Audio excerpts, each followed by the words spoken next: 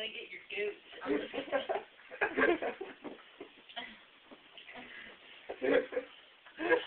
She's getting all sexual over there. Uh, uh. Don't get on me. I'm trying to finish it up.